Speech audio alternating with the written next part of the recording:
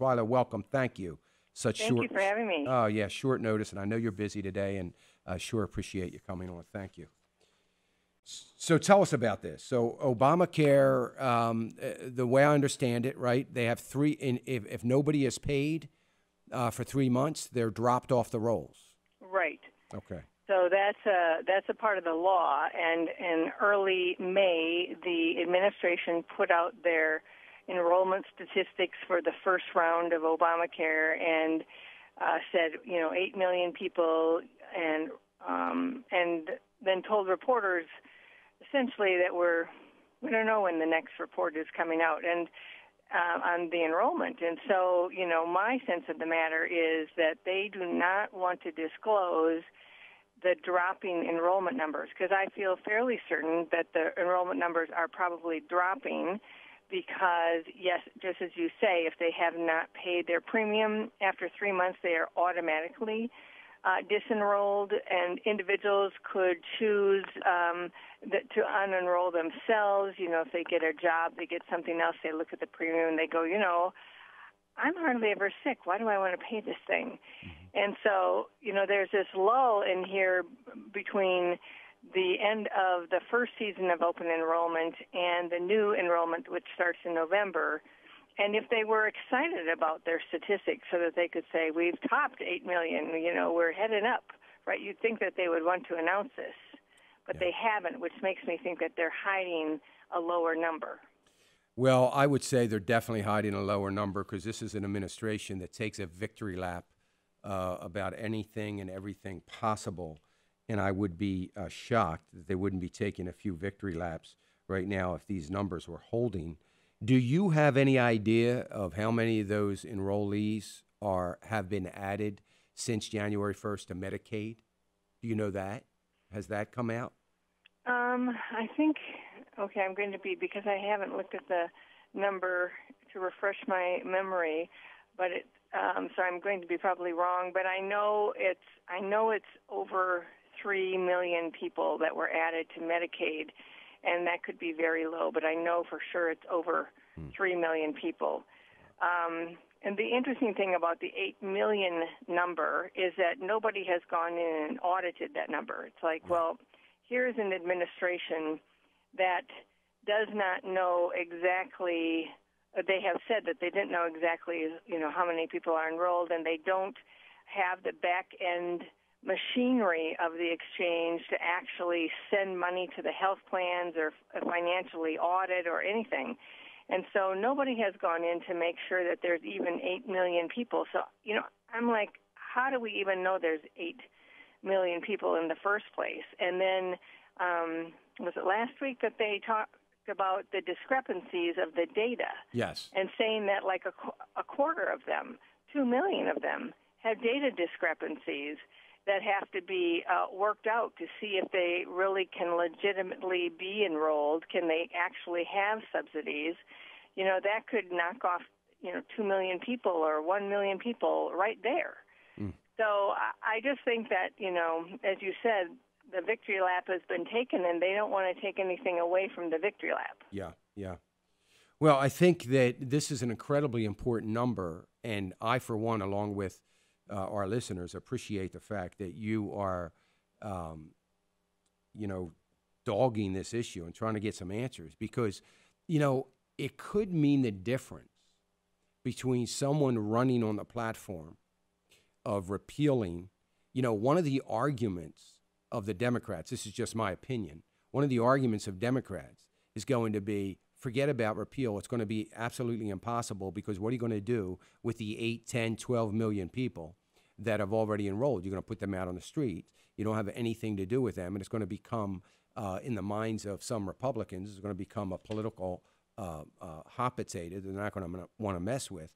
But this could make all the difference in the world if here we are, some six months later now, uh, almost, uh, that you know they don't have the eight million, that they have more like six million or five million, three million being on Medicaid, um, is going to have a devastating, uh, could have a devastating uh, impact and a real negative consequence for uh, the law in, in the hopes that 2016 we're going to see some changes. Right.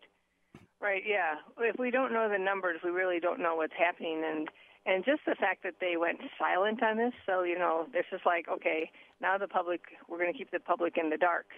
We've had our high moment. Now we're now we're going to go silent. We're not going to say anything. You know, by virtue of that fact, you know, uh, I mean the the government can release statistics on a week by week basis. They can do it on a month by month basis. They it's it's not like we don't have the technology, right? Right. So wherever they got the eight million from, which is again, I don't even know if it's eight million, but wherever they got it from, they could certainly take. Uh, they could certainly pull up those numbers again and come up with Mm. a new set of numbers, but they have chosen not to, and they had told reporters that they have no idea when their next announcement of enrollment numbers is going to be. And they could be timing it for, you know, I don't know if you uh, recall this, but there are special and there's what's called special enrollment period, which is really an ongoing period. If you have something special in your life, like you you have a new baby, you got married, you got divorced, lost your job, that sort of thing, you can enroll in Obamacare during this uh, time between the first enrollment period and the next enrollment period. So, you know, they could be timing their next announcement in hopes that more people will enroll from these special events and um, and that will counter whoever has dropped off because already I think it was Oregon that um, already had lost uh, several thousand people because either they hadn't paid the amount or they had you know left on their own. But you know, so th- I'm sure this is happening elsewhere Mm. where people are disenrolling or or being disenrolled themselves. Do you know of any uh, news agency or any organization out there that is filing any, um, you know, uh, a filing under the Freedom of Information Act to try to get these numbers? Is anybody has anybody stepped up to do that yet? Um, not that I have heard, but our uh, press release was covered yesterday by Politico, and um, and so to me, what that says is Politico is wondering too. Yeah, Where are these yeah. numbers? Yeah. You know, and and since we put out the press release, it was an opportunity for them to put it out there, and and basically, you know, it's sort of like we want the numbers too. Good. well, you know. So, um, so I haven't heard that anybody's doing it, but that's not to say that somebody isn't isn't, and it's, it hasn't become public yet, or uh, somebody has is in the process of doing it. You know, it's possible that nobody is, but you know, these are, you know, the media. They they like to go after the news, and when they're being shut out, you know, they've got the lawyers, et cetera, to go and file the Freedom of Information Act and do it. But sometimes that can be a process. Sometimes you can't get that very quickly. On the other hand, they have the pressure to press, right? Well, they uh, could continue exactly. to say, you know, we filed, and they just won't give it to us. Well, I'm wondering where the conservative leadership is, if there is any. I hate to use that word leadership, but where, where the conservative uh, legislators are that aren't demanding this information. I mean, why aren't they demanding the information uh, th- so that so that they can get a handle on it? I mean, it seems to me that uh, they should be, you know, this should be a rallying point uh, for for conservative uh, uh, legislators. Well, sometimes I think when something is not in the news, you tend to Yeah, forget about it, right? yeah, you got yeah. all these other pressing things, and then it's got to be something to, you know, uh, get your brain to just suddenly go, oh yeah, wait, Right. we haven't uh, we haven't gotten any numbers. What's happening? What's happening here with this program? Now, I think it's um, one thing that is it's not exactly related, but kind of is that Colorado has decided to implement. I hope I've got the right state right here. I just read it. Uh, Colorado has decided to implement a fee on uh, the insurance policies of a dollar twenty-five cents for every person that's enrolled to help pay for the cost of the exchange. And you know, part of what that means to me is that Colorado doesn't have enough enrollees to pay uh, the price of the exchange, and of course, all the exchanges, all the state exchanges, and Colorado has a state exchange. All the state exchanges are looking at the fact that all the federal dollars go away at the end of this year. So there is no more federal money coming to support the exchanges um, after December 31st. And so for those exchanges that are not folding, you know, Oregon's folding, Massachusetts thinking of folding, and and uh, Nevada's thinking of folding. So, but for those who aren't folding, they're thinking, where are we going to get the money from? If particularly if we do not have enough enrollees, and Medicaid enrollees aren't the good enrollees, right? Right, They're, right.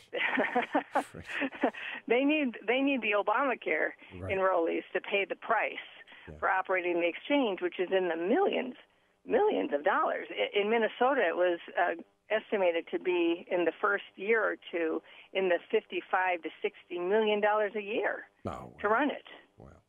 So they're you know they're looking for this money and health plans. The other thing about health plans is they have these uh, th- this three year uh, these three years where they are essentially um, they're they uh, if if they do not raise their premiums too much, they will get a, a break. There will be more money coming to them from unknown sources, um, either from the funds that are part of Obamacare or outside.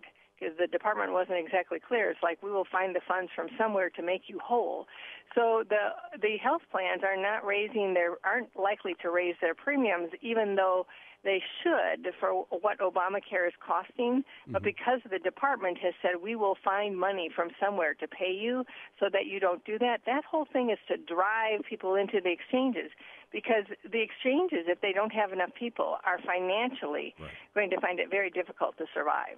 Well, I think states in general are going to uh, be in big, big trouble in 2000 and, uh, the end of 2015. By the end of 2015, when when uh, the government uh, drops their subsidies for Medicaid, uh, it's going to be huge for Right. states. I think they're going to be in huge trouble. I think this is a um, you know a, a consequence that uh, most states, at least 37 of them that I know, uh, fiscally cannot uh, bear that burden, and it's going to be very interesting to see what happens. And it's amazing to me that states have not had the uh, foresight to take that into consideration and uh, quickly uh, and, and happily put as many people as they can onto Medicaid, not realizing that at some point in time they're going to have to foot the bill for this. And frankly, too many states are not going to be able to do it. It's going to be very, very um, interesting times when that And happens. you know the worst thing about I don't know if it's the worst thing, um, but one really bad thing about this is once you have expanded Medicaid,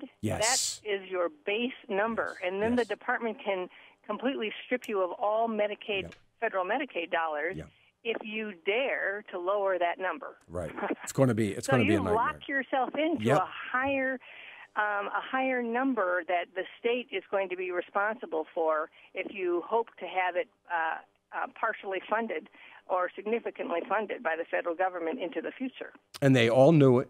This was all available information. They Right. should have all been able to uh, figure this out, and you know, just just didn't even.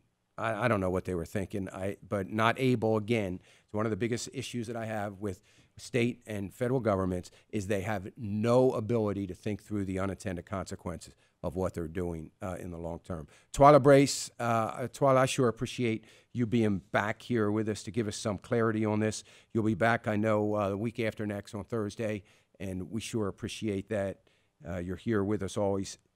Twila Brase, President. Thanks so much, Dan. You're welcome. President and co-founder uh, of Citizens Council for Health Freedom. And folks, you see as you listen to Twila and you hear her every week here, you need to check out her website. Make sure that you're in tune with it, that you're seeing, uh, checking on it on a regular basis.